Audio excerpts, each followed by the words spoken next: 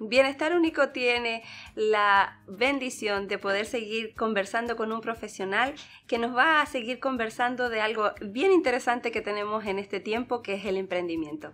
Bienvenido, Ricardo, otra vez a Bienestar Único. Gracias. Creo que sigamos conversándole a la audiencia de, de OBM Radio y Bienestar Único qué es el emprendimiento y por qué. Bueno, mira, eh, del programa pasado estamos estableciendo un poco esa, esa relación con el emprendimiento y nuestra realidad inmediata.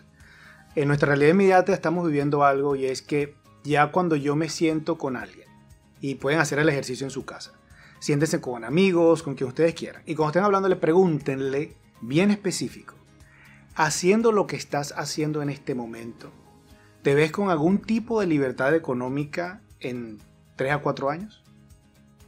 Es más, ¿te ves haciendo lo mismo en dos, tres, cuatro años?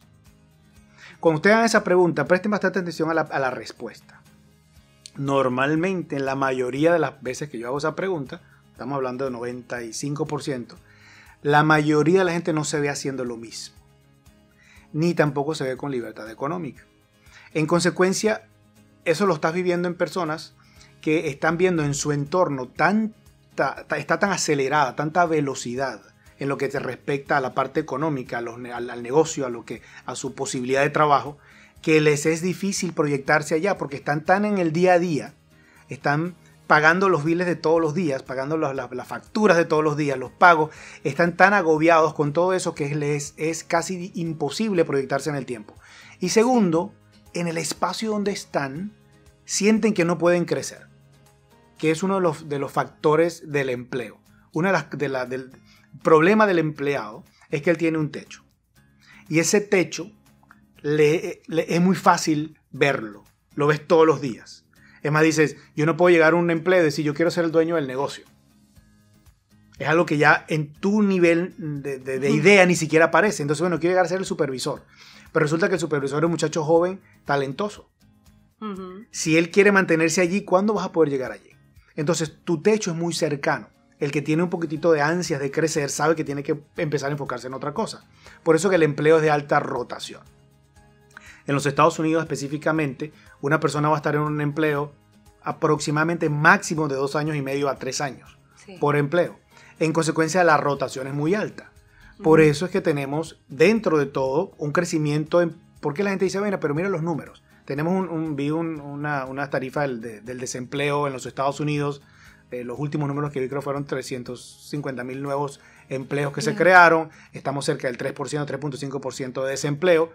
Pero ¿por qué si eso es así, tenemos una, se, una, se percibe una escasez económica? Sí. Se percibe una sensación de, de, austeridad, de que la gente está preocupada por dónde va a poner su dinero.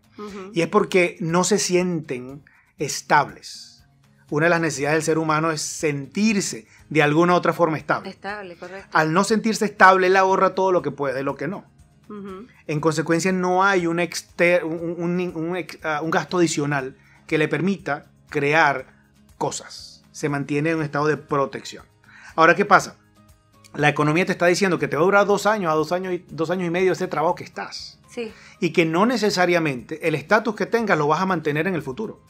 En consecuencia, si yo estoy en la base 1, digo, mira, mi sueldo es tal, tal, tal, tal. ¿Qué pasa si me sacan de ese trabajo? ¿Hay más de ese trabajo? ¿Hay más de ese trabajo pagándome lo mismo?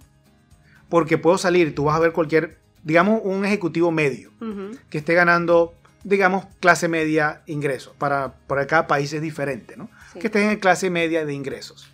Si a mí me votaran o me saliera de ese trabajo por la razón que sea, mi negocio, mi compañía no fue suficientemente actualizada como hablamos en el programa pasado, a la nueva economía, a la tecnología. Fue sacada del mercado porque no pudo ser competitiva y ahora me quedo sin mi puesto de trabajo. ¿En dónde puedo conseguir un mismo puesto de trabajo con esas condiciones y ese ingreso? Claro. Lo que pasa es que la mayoría de gente no lo puede hacer. Por eso tiene que irse a otro nivel de negocio, irse a estudiar. Hablamos en el programa pasado al cerrar de que la gente se está viendo mucho el mundo de la salud y el mundo de la salud porque es una tendencia número uno de consumo. Si hay consumo, hay clientes. Si hay clientes, hay alguien poniendo dinero. Si hay dinero, hay algo que repartir. En consecuencia, ¿estamos pegados en esa tendencia? Sí. Vamos a utilizar ese modelo de negocios vamos a utilizar, perdón, ese mercado para trabajarlo. Ahora, ¿qué modelo de negocio vamos a utilizar? Y ahí es donde empieza a, cada persona a decidir, bueno, yo quiero ser un empleado dentro de ese modelo, voy a estudiar para ser una enfermera, voy a estudiar para ser médico, voy a ser técnico o analista de seguros, cualquiera de las cosas básicas que forman parte del mundo de la salud. Y habrá otros que dicen, no, pensando como emprendedor, yo tengo que buscar una herramienta, por ejemplo, voy a hacer una aplicación que ayude a bajar de peso. Y el otro, no, yo voy a hacer una aplicación para, por decir, mejorar mi, mi maquillaje diario o la calidad de productos que utilizo. Y cada quien empieza a resolver el problema de salud de manera diferente. Ahora, el emprendedor es el que va a buscar un problema y va a buscarle una solución. Y mientras más masiva sea la solución, o perdón, impacte a más personas, mayor probabilidad, no significa que va a tener éxito, mayor probabilidad de consolidar tu negocio tienes. Entonces, el emprendedor, al punto de 2019 que estamos ahora, para nosotros siempre lo decimos de hace varios años, pero en el 2019 es una necesidad, es una urgencia, porque yo necesito emprender. Porque el empleo ya no, me, ya no me ofrece esa estabilidad en el tiempo que yo quería, ni la capacidad de crecimiento. Entonces tengo que emprender. En Latinoamérica lo vivimos día a día. En Latinoamérica vemos que la gente sale a vender lo que sea. Sí, sale a vender lo que sea. Y no, y lo otro que también, Edgardo, que es importante también que recordar y ponerle a, a la conversación, en la edad la edad de nosotros es, un punto clave porque hay mucha gente que ha estado por mucho tiempo trabajando y ha estado en, estable, en una estabilidad económica, pero va la edad o te sacan de tu trabajo o, o pierdes el trabajo o tuviste una situación en la cual ya no pudiste seguir en ese mismo trabajo, entonces, ¿qué te queda? Y creo que una muy buena opción es el emprendimiento. Bueno, no solamente una buena opción, ¿qué te queda? Exacto. En Latinoamérica, perdón, llamamos nosotros eh, economía informal. La economía informal es muy característica de los países latinoamericanos. Eh, la economía informal se define con que alguien sale a comercializar lo que sea cuando puede, como pueda. En consecuencia, ¿cómo se genera una economía informal? Claudia, ¿qué estás haciendo tú? Claudia, mira, yo estoy vendiendo chicle, ¿puedo vender chicle contigo? En consecuencia, tú vas a ver comunidades que desarrollan espacios en base a lo que alguien que empezó siendo un emprendedor Ahora tiene gente que está copiando su modelo, aunque no entienda por qué. Lo está copiando porque necesita cubrir para el bolsillito. Y se empieza a crear una economía informal. Yo no le llamo una economía em, de emprendedora. La primera persona fue el emprendedor para mí. Las demás personas están copiando el modelo porque necesitan generar un ingreso. Pero fíjate cómo piensa el, empleado. dice, ok, si yo vendo donas, como una, en una época en Venezuela se pusieron de moda las, las donas. Las donas. Si yo vendo donas, ¿cuánto necesito por día? No, yo necesito 50 dólares. Ok. Cuando venda los 50 dólares, se terminó mi día de trabajo. Porque sigo pensando como empleado. Correcto. En consecuencia, mucha la gente dice, hay mucha gente que son emprendedores. No, gente que está viviendo una economía informal donde tiene el riesgo del emprendedor porque se te dañan las donas y perdiste el dinero. O te robaron, o te dio hambre y te comiste una tú. Cualquiera que sea la realidad que tú viviste, esa economía informal no es estable porque nosotros hemos, eh, en los gobiernos, la, eh, la, ayuda social se ha siempre hecho a través del empleo. Lo pasa mismo aquí en los Estados Unidos. Tú pagas impuestos a través de tu cheque del sueldo. Pero si tú eres un emprendedor ya no pagas impuestos, deducciones de tu cheque. Tienes que tú ser el encargado de procesar todo y pagar el diferencial. En consecuencia, te tratan diferente. Por eso es muy difícil para alguien que es empleado y te dice, y ahora tengo que manejar todo si me hago un emprendedor. Entonces, hay, hay cosas relacionadas con el riesgo, pero es que la realidad es que no puedes creer, lo que tú dijiste fue clave. Cualquier persona que sea mayor de 40 años en esta época, de 40 a 70, porque la mayoría de la gente está llegando a 70 años, no, no tiene suficientes ahorros, sobre todo después de la debacle económica, ahorros para vivir, para tener calidad de vida actualmente, todos, todos tienen que seguir trabajando. Pero ya hay menos empleos para ellos, porque como ¿Cómo le voy a dar un empleo a una persona mayor edad que tiene mayor riesgo? Riesgo. Se puede cansar más.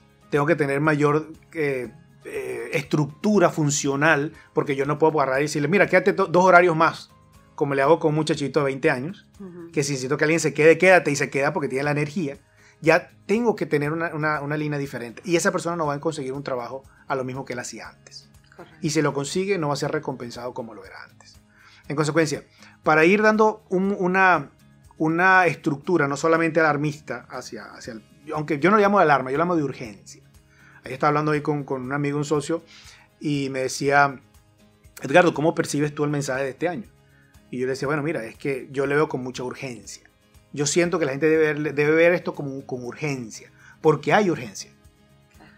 Nuestra situación económica necesita del emprendimiento, necesita de cada uno de ustedes que busque posibilidades de educarse, posibilidades de asociarse, de reunirse con personas que le vayan a aportar. Si usted está en un espacio tóxico donde las personas no la están ayudando, donde no hay valor agregado a lo que usted quiere hacer, sálgase. Pero sálgase con urgencia, porque necesitamos rodearnos de gente que nos va a ayudar. Rodearnos de personas que pueda empujarlo a usted a educarse en algo que usted no conoce y que el sistema educativo todavía, al 2019, no está diseñado para ayudar al emprendedor. Así que tiene que autoeducarse. Edgar, es que yo no estoy acostumbrado a leer. Escuche audios. No estoy acostumbrado a escuchar audios. Vea videos. Algo tiene que hacer. Y que lo que no está acostumbrado, acostúmbrese. Porque la realidad cambió y no lo va a esperar. La nueva economía llegó sin preguntarle a nadie. Se instaló sin preguntarle a nadie. Es como esas aplicaciones en su teléfono en la noche que te despierta el teléfono y dice 19 aplicaciones se, fue, se actualizaron anoche. ¿Y usted no sabe qué pasó? Exactamente así. Así va cambiando el sistema.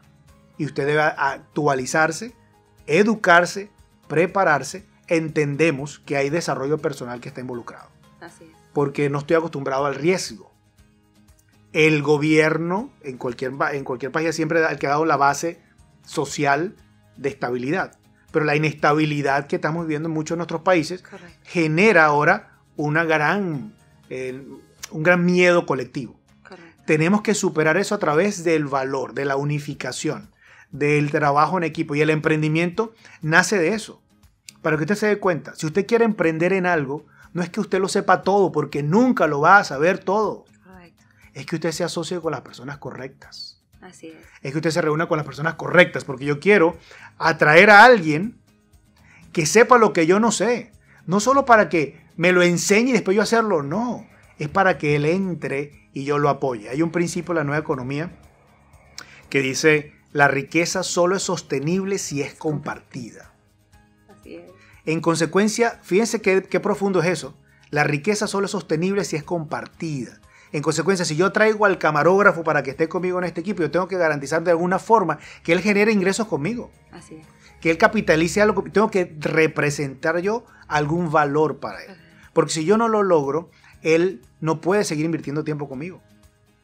Y quiero que mi directora, que mi productora, que mi canal, que mi medio, todos tengan un beneficio, un valor, para que se redistribuya entre, entre todos podamos protegernos y tener más éxito. En consecuencia, como, como punto de conciencia, debemos empezar a visualizarnos como emprendedores. Debemos entender que el emprendimiento es una necesidad, es una obligación, no es una opción, que para nosotros hace 25 años lo era. Ahora no es una opción y lo debo hacer. Edgardo, eh, para seguir más, porque yo sé que hay mucha gente que va a querer tener más detalle de esto, ¿cómo te pueden conseguir? Y, yo sé que tú tienes una escuela especial que se llama el ADN y que me gustaría que dieras esos detalles con, con, la audiencia. Sí, lo que hicimos nosotros con ADN, uno de los objetivos iniciales de ADN, su visión, es poder ayudar a que las personas cumplan sus sueños. Y, y a por supuesto a través del emprendimiento. Y para eso entendemos que la parte educativa, pero hay, hay estructuras educativas que son formales. Nosotros no, no que no creamos en esa estructura, sino que simplemente entendemos que tiene que ser rápido, porque es, evolucionando tanto, tenemos que estar continuamente evolucionando. ADN, desde el principio lo que hicimos fue que, nosotros queremos traspasar el ADN emprendedor a esa persona que no, es, que no ha sido educada para el emprendimiento. En consecuencia, eso es lo que ADN representa. Tenemos una, varias, eh, tenemos una charla que se llama el emprendimiento inteligente. Tenemos una que se llama la llamada de alerta, que es un taller como 10 horas. Después tenemos dos que son de fines de semana. Uno que tiene que ver con el emprendedor en la nueva economía. Todo esto es vivencial. Todo esto es competitivo. Todo esto es tratar de, llevar a cualquier persona que nunca ha hecho ningún tipo de emprendimiento en un, en un periodo corto vivencial hasta cierto punto vivir toda la, todo el, el, roller coaster, la, montaña rusa, en un fin de semana. Tú lo viviste. Sí. Eh, y, y, ese proceso es un proceso bien interesante. Entonces, hemos estado, hemos estado llevando eso dentro de esa línea, eh, porque es importante que la gente lo viva. Eh, hemos logrado ahorita llevarlo a varios, a varios países, lo estamos haciendo en, en Perú, en Ecuador, en Colombia, en República Dominicana, por supuesto aquí en Miami. Y parte de todo ese proceso ha generado mucho esa atracción. Y como te decía, fuera de cámaras, cada país ha seguido pensando que de una u otra forma es diferente. De que lo que le afecta a un país no le afecta al otro. Y la globalización ya, lo, ya eso lo eliminó. Y cuando tú empiezas a hablar con alguien de una situación de un emprendedor en Perú, o en Ecuador, o en España, o en Estados Unidos, tú vas a ver que la nueva economía los afecta a todos. Entonces estamos ahora hablando un, un lenguaje mucho más unificador, donde ya no es en mi país se hace ABC, no. Hay un protocolo legal que puede ser diferente, pero el mercado funciona de manera igual. Como ven, hay mucho que seguir conversando, pero mm, habrá otro tiempo y por supuesto estará Edgardo con nosotros siguiendo, eh, dándonos más detalle de esto maravilloso que es el emprendimiento. Esto ha sido Bienestar Único para todos ustedes y muchas gracias por su atención. Nos vemos el próximo martes.